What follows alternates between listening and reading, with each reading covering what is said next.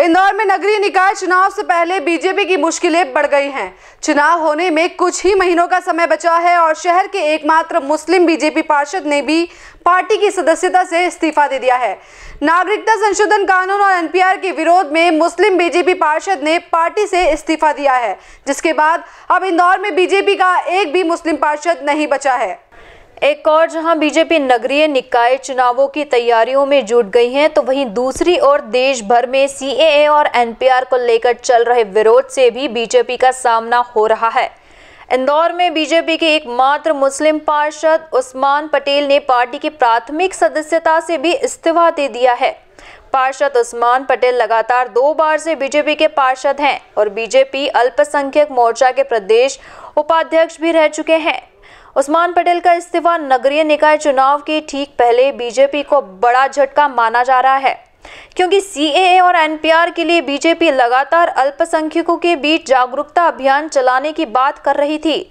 Usman Patel BJP के ऐसे पार्षद थे जो सभी बूथों पर जीत दर्ज कर नगर निगम तक पहुँचे थे और कांग्रेस के गढ़ में सेंध लगाकर बीजेपी को चुनाव में जीत दर्ज करवाते थे।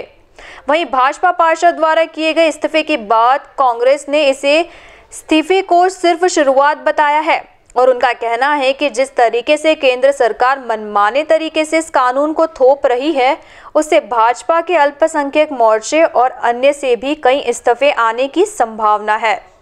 भारतीय जनता पार्टी के नगर के अध्यक्ष श्री गोपी कृष्ण नेमा जी को मैंने अपना इस्तीफा सौंपा है और वह इस्तीफा मैंने सीए और एनपीआर के विरोध में और जो हमारी भारतीय जनता पार्टी की जो सरकार है, वह इस काले कानून को थोप रही है।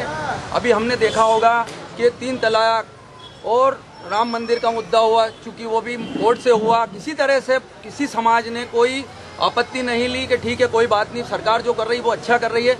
लेकिन आज जो ये काला कानून लागू किया जा रहा है, इससे सिर्फ़ मुस्लिम ही नहीं हिंदू, मुस्लिम, सिख, ईसाई, बौद्ध, पारसी, हिंदुस्तान के सभी जितने भी निवासी हैं, जिस तरह से नोटबंदी हुई थी, नोटबंदी में आपने देखा होगा, लाइनों में लग लग के लोग, कई लोगों की जानें चली गई, कई लोग परेशान हुए। इतने परेशान हुए कि आज तक वो समझ नहीं पाए हैं और आज तक हम इस इस मंदी से और इन परेशानियों से आज तक हिंदुस्तान का नागरिक नहीं उभर पाया है। लेकिन अब ये जो काला कानून लाया जा रहा है, ये काला कानून भी उसी की तरह है कि आप हमें अपने डॉक्यूमेंट्स दिखाइए। हमें डॉक्यूमेंट दिखाएँ, आज जनता जो परसों हमने कौन सा कपड़ा पहना, ये हमें मालूम नहीं कि हमने कौन सा कल परसों हमने कौन सा खाना खाया, ये याद नहीं रहता। आज ये स्थिति है कि इस देश में करोड़ों लोग ऐसे हैं, घुमंतु हैं। इस देश में पचपन सौ से, पाँच हज़ार पाँच सौ से अधिक दंगे हुए आगजनी होती है, बाढ़ आ जाती है, चोरी हो जाती है, कई घुमंतु लोग हैं, कई समाज ऐसे हैं जो रोड सड़कों पे घूमते हैं। आज उनसे कहें कि हम आप पचास साल पुराने कागज़ लाइए उन्नीस सौ इकहत्तर के डॉक्यूमेंट कहाँ से ला कर देंगे? देखिए, जो सीए और अन्य जो नागरिकता को लेकर आंदोलन चल रहे हैं, उससे निश्चित तौर पर आज एक समाज, और समाज के सभी लोग बहुत बुरी तरह से आहत हैं। ये जो आप इस्तीफे की बात कर रहे हैं, निश्चित तौर पर बीजेपी में इस्तीफों के दौर लगातार रहेंगे।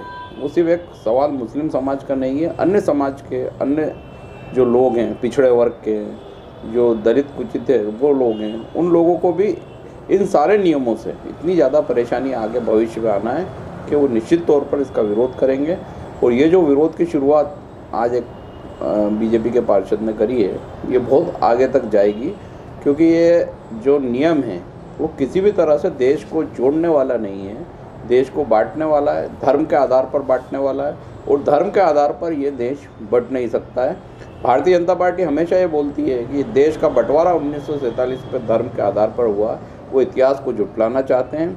भारत का बंटवारा धर्म के आधार पर नहीं हुआ था, पाकिस्तान धर्म के आधार पर बना था, भारत एक धर्म निरपेक्ष राष्ट्र बना था, जिसमें सभी धर्मों के लोग और जिसमें मुस्लिम समाज के लोग अपने मन और अपनी इच्छा से, अपनी देशभक्ति से देश में रुके थे। उनको आज इस तरीके से कानून के दायरे में बांधना और उनको कानून के एक दायरे से बाहर करना, ये किसी भी तरह से भारत के हित में नहीं है और भारत की राजनीति और जो भारत महात्मा गांधी के सिद्धांतों पर बना है, महात्मा गांधी के सिद्धांतों पर चला है, वो ये कभी भी स्वीकार नहीं करेगा। इसलिए ये हालात अब बीजेपी के होना है कि उनके लोग भी उनको छोड़कर जाने लगेंगे